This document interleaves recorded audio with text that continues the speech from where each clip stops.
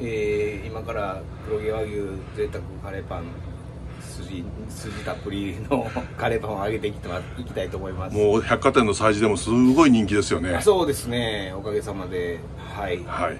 これがまだ売り場では見られない。揚げる前でございます。ではお願いします。はい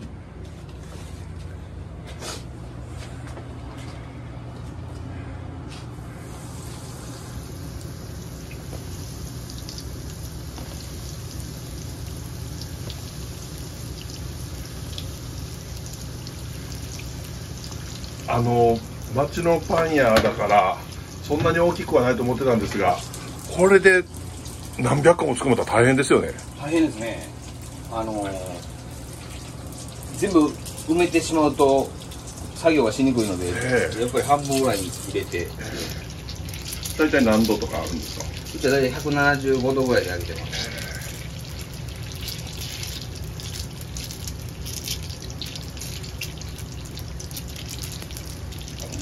この音た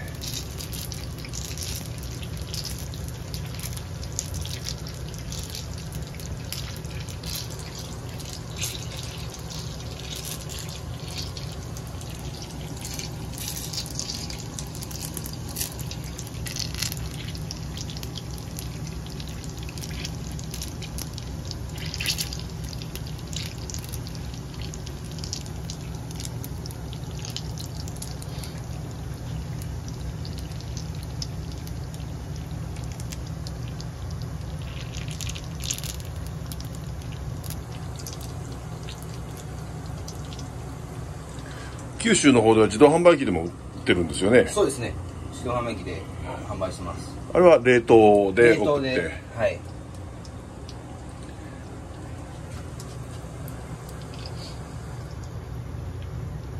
ですのでなかなか東大阪までお店ではまでは来られないという方がほとんどだと思いますんでぜひ通販とかあるいは催事ですね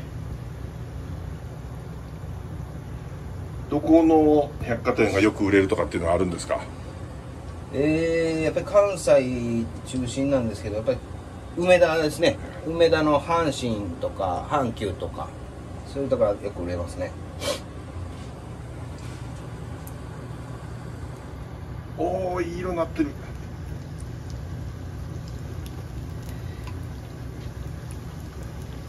これがね難しいあそうですね。あの偏っちゃうんでねどうしても中身の具が。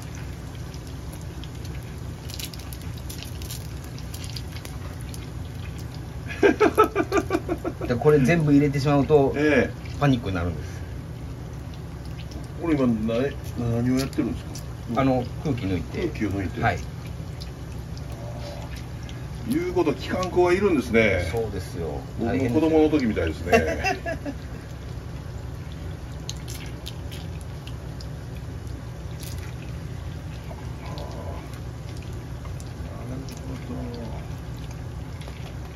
お肉がね偏ってそこだけ重たくなって。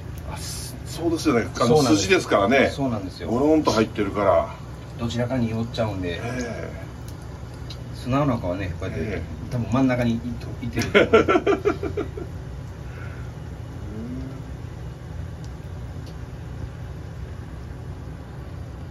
まあ時間でいうと今3分ちょっとぐらいですね。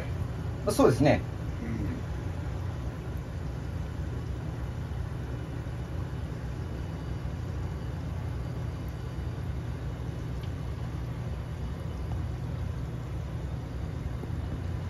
こんなん100個も200個もやってたらもう嫌になってきません？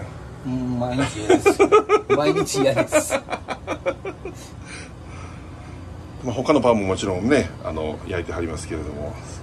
これにずっとつききりとかないといけないのがちょっと他の作業はできないのでね、え。それがちょっと大変ですけど。まさかたこ焼き焼くみたいにくるんとひっくり返すとは思わなかったです